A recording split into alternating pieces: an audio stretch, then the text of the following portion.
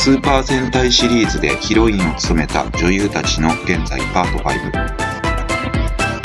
5ウルトラマンシリーズ仮面ライダーシリーズに並び特撮シリーズファンの心をわしづかみにするスーパー戦隊シリーズ。放映開始から40年を迎えようとしていますがその人気は衰えることを知りません。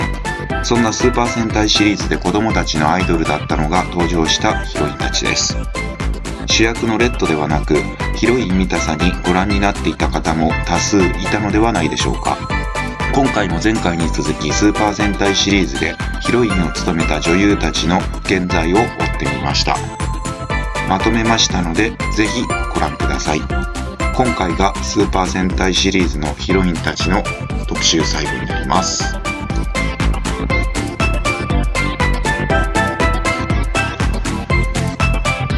まずは怪盗戦隊ルパンレンジャー VS 警察戦隊パトレンジャーこちらの紹介こちらのルパンイエロー役を演じたのは工藤遥さんです彼女が元モーニング娘。のメンバーなのはご存知の方も多いはずです出演前からモーニング娘。時代の活躍は優に及ばないでしょう同作の彼女のルパンイエロー役への起用はさらなるファン層を広げるためだったと言われていますモーニング娘。を卒業した現在も舞台ラジオなどで幅広く活躍していますドラマには同作を含め数学女子学園大人へノベルの3本しか出演していませんがまだ若いだけに今後大抜擢を受け大成する可能性も大いに考えられます。期待したいですね。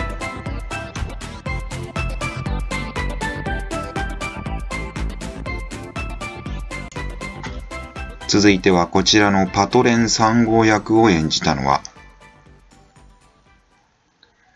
奥山和沙さんです。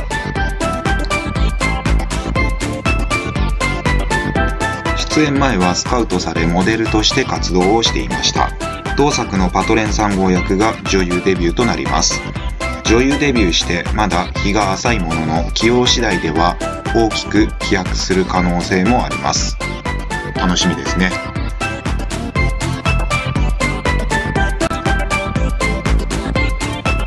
続いては宇宙戦隊キューレンジャーこちらのご紹介です。こちらのカメレオングリーン役を演じたのは大久保桜子さんです。子役としてドラマやコマーシャルに出演していました。同作のカメレオングリーン役で初のレギュラーを獲得します。現在は大学に通いながら同作含めルパンレンジャー VS パトレンジャー VS キューレンジャーなどのスーパー戦隊シリーズ関係のオリジナルビデオや映画に頻繁に出演しています。役柄次第ではドラマにレギュラー出演する可能性も今後大いに考えられます。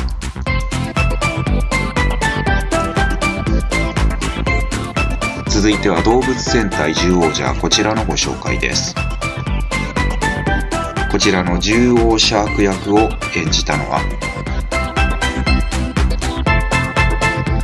柳美樹さんです。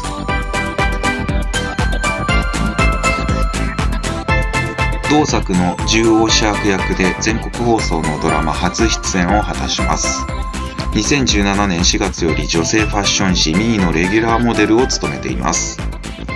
現在は上記の雑誌モデル活動と並行し2018年には「かけ狂い」「インベスター Z」などのドラマに出演のほか舞台活動も率先して行っています。今後のさらなる活躍を飛躍を期待したい一人ですね。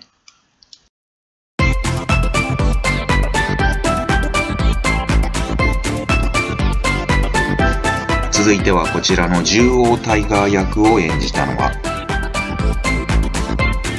立石遥さんです。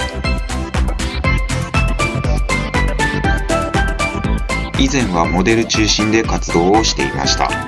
2007年に舞台闇の門で女優デビューを果たします。一度引退したものの同作の獣王タイガー役で復帰。復帰して現在は戦隊シリーズものの映画をはじめ日本テレビサバイバルウェディングなどの多数のドラマや CM に出演をしています。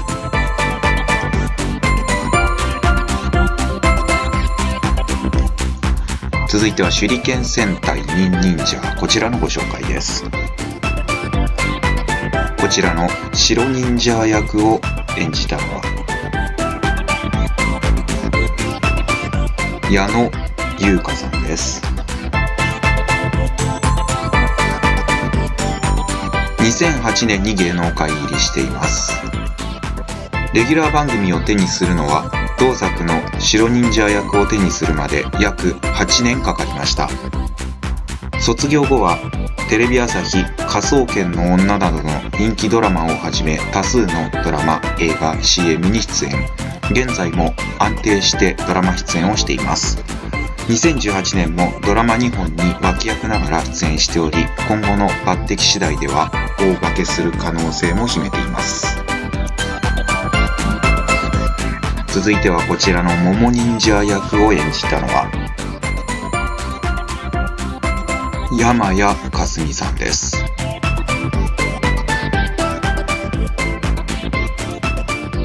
出演以前も多数のドラマに出演同作の桃忍者役で出演し、さらに注目を集めました。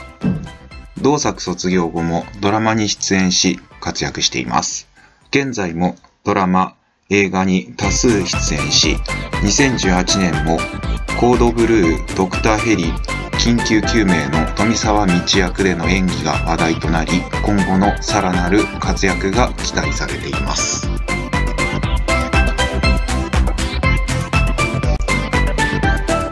続いては列車戦隊特急ジャーこちらのご紹介ですこちらの特急3号役を演じたのはリリアさんです。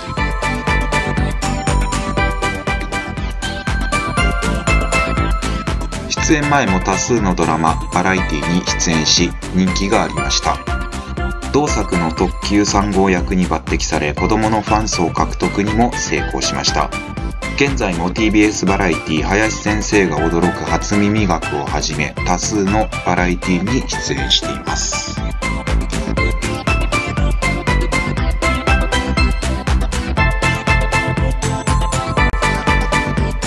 続いてはこちらの特急5号役を演じたのは森高愛さんです。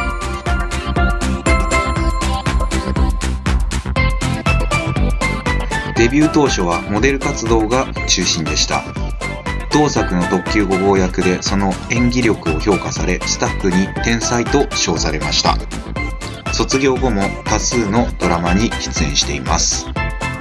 2018年現在もテレビ東京ポチッと発明ピカチンキットをはじめ年3本のドラマに出演しています。続いては充電戦隊恐竜ジャーこちらのご紹介です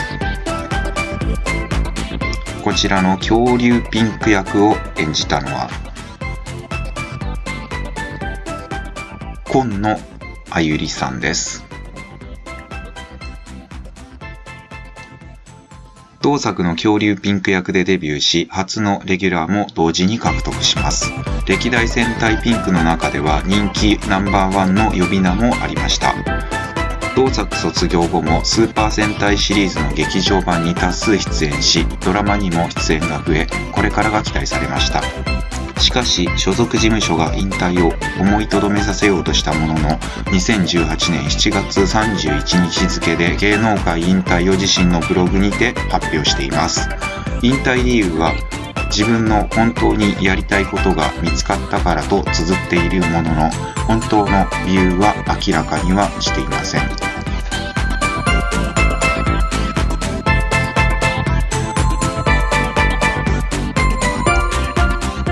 続いてはこちらの恐竜バイオレットを演じたのは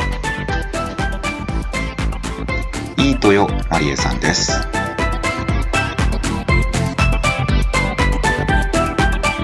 デビューしてしばらくはモデルグラビアアイドルとして活動。同作の2代目恐竜バイオレット役で出演。その後も新垣結衣にということで反響を呼び多数のドラマ映画にも出演。2017年4月1日公開の映画「暗黒女子」で清水文香さんと共にダブル主演を果たし同時に映画初主演を果たしました。2018年も映画「祈りの幕が降りる時や TBS の「花の千晴れ」「花壇ネクストシーズン」などに出演。現在人気女優としての階段を確実に上っています。これからに期待したいですね。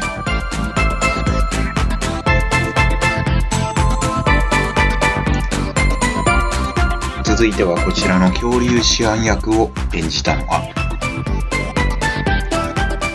木下あゆみさんです。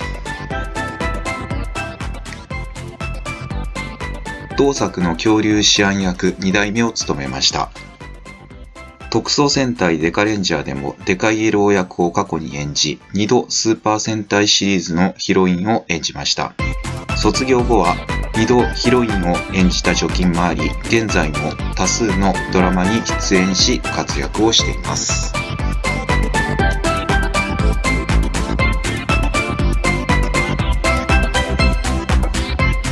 続いては匿名戦隊ゴーバスターズ。こちらのご紹介です。